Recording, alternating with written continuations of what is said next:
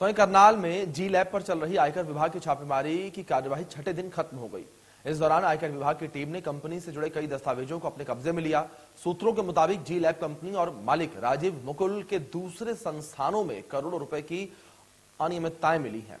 हालाँकि इस मामले में आयकर विभाग की ओर से कोई भी आधिकारिक बयान नहीं दिया गया है।